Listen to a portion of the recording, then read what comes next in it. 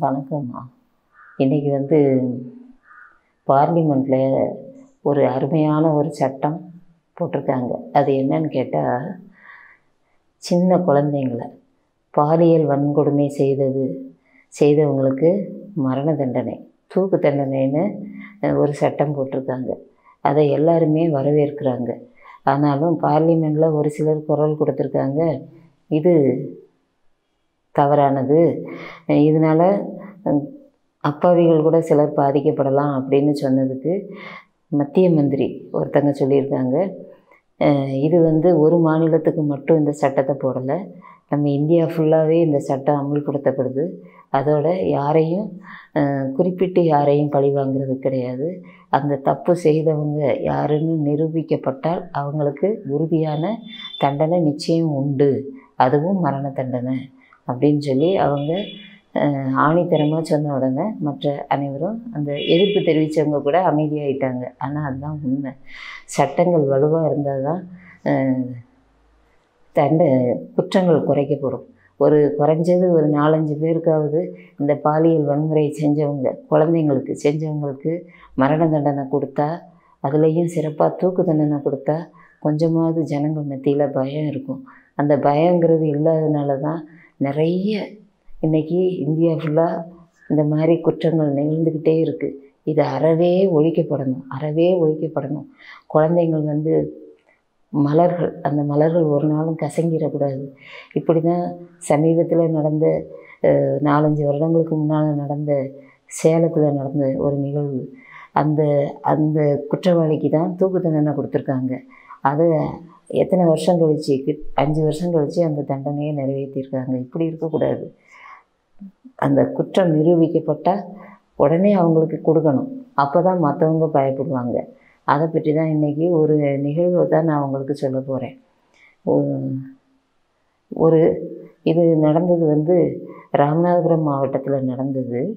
ஒரு குழந்தை அது மெட்ரிகுலேஷனில் ரெண்டாவது படிச்சுக்கிட்டு இருந்தது. ரொம்ப சின்ன குழந்தை. அந்த குழந்தைய என்ன செஞ்சிட்டாங்கன்னா அவங்க வந்து முஸ்லீம். அதனால் இந்த ரம்ஜான் பண்டிகை வரும் இல்லையா? அப்போ வந்து நிறைய பலகாரமெல்லாம் செய்கிறதுக்காக மிஷினில் மாவு அரைக்க கொடுக்க போகணும் அப்படின்னு அவங்க பாட்டி கிளம்பியிருக்காங்க. அப்போ இந்த குழந்தை நானும் வரேன் உங்கள் கூட அப்படின்னு சொல்லியிருக்கு. சரி வா அப்படின்னு சொல்லி பாட்டி கூட்டிகிட்டு போனாங்க. ஆனால் அந்த குழந்தையோட அப்பா வந்து ஆட்டோ டிரைவர். அம்மா ஹவுஸ் ஒய்ஃப். அந்த ஒரு குழந்தை தான். அவங்க பாட்டி கூட்டிகிட்டு போனோடனே அங்கே மாவு மில்லில் கரண்ட் இல்லை. உடனே அவங்க பாட்டி என்ன செஞ்சாங்க? எல்லாத்தையும் வச்சுட்டு மா கரண்ட் வந்து அரைச்சி வைப்பா. நான் வந்து எடுத்துக்கிறேன் அப்படின்னு சொல்லிட்டு பாட்டி வந்துட்டாங்க. குழந்தையும் கூட்டிகிட்டு வந்துட்டாங்க. ஆனால் இந்த குழந்தை என்ன செஞ்சிருச்சு? கொஞ்ச நேரம் கழித்து கரண்ட் வந்த உடனே பாட்டியே பாட்டியை கூப்பிடாம இந்த குழந்தையே தனியாக போயிருக்கு. போய் கரண்ட் வந்துருச்சு மாவு அரைச்சிட்டிங்களா? அப்படின்னு கேட்குறதுக்காக இந்த குழந்தை போயிருக்கு போன குழந்தை திரும்ப வரவே இல்லை.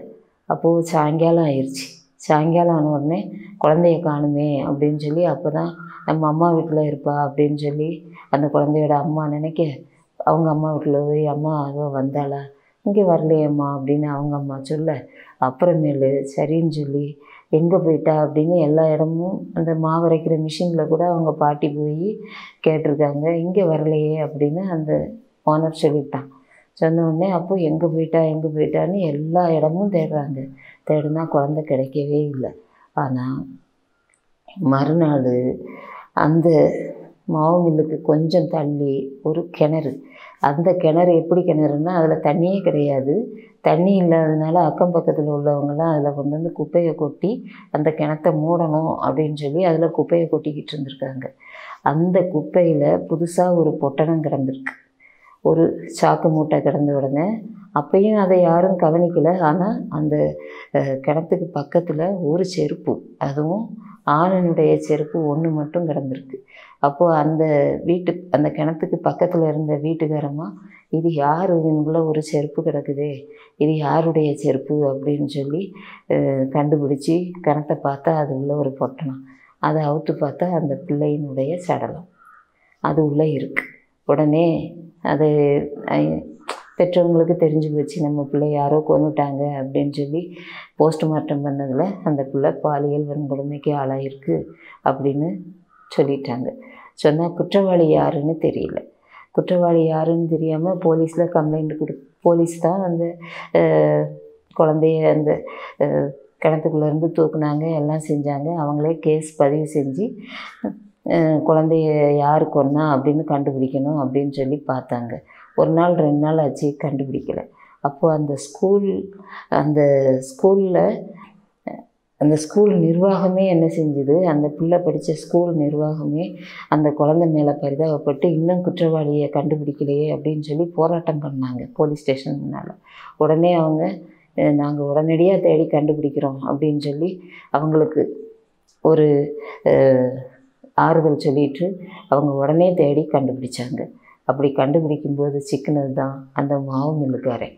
அந்த மாவு மில்லுக்காரன் என்ன செஞ்சிட்டான்னு தெரியுமா? அவனுக்கு கல்யாணம் ஆகி மூணு குழந்தை இருக்குது அவனுக்கு வயசு ஒன்றும் குறைஞ்ச வயசு கிடையாது. அவனுக்கு ஒரு முப்பத்தாறு வயசு. அப்படிப்பட்ட ஒரு ஒரு மிருகம் என்ன செஞ்சிட்டான் இந்த பிள்ளை உள்ளே மாவரைச்சாச்சா அப்படின்னு கேட்க போன பிள்ளைய உள்ளே ஏற்கனவே மாவு மில்லெல்லாம் ரொம்ப ஒரு இருட்டு பகுதியாக தான் இருக்கும். ஏதோ ஒன்று ரெண்டு தான் வெளிச்சமாக இருக்குமே தவிர அந்த மிஷின்கள் இருக்கிற இடமெல்லாம் கொஞ்சம் இருட்டு பகுதியாக தான் இருக்கும். அந்த மாதிரி அந்த மில்லும் ஒரு இருட்டு பகுதியாக இருந்திருக்கு. இவன் உள்ளே இந்த தேவையில்லாத மிஷின்களை கழட்டி போடுற இடத்துக்கு அந்த பிள்ளைய கொண்டு போய் பாழாக்கியிருக்கான் அந்த குழந்தை அதிலே இறந்து போயிடுச்சு போன உடனே இவன் என்ன செஞ்சிட்டான்னா அதை சாக்கு மூட்டையில் கட்டி இதை கொண்டு போய் நம்ம கடலுக்குள்ளே வீசிடணும் அப்படின்னு சொல்லி கொண்டு போயிருக்கான் பாலத்து மேலே பாம்பன் பாலத்து மேலே. போகும்போது அங்கே எந்நேரமும் போலீஸ் ரெய்டு போய்கிட்டு இருப்பாங்களா?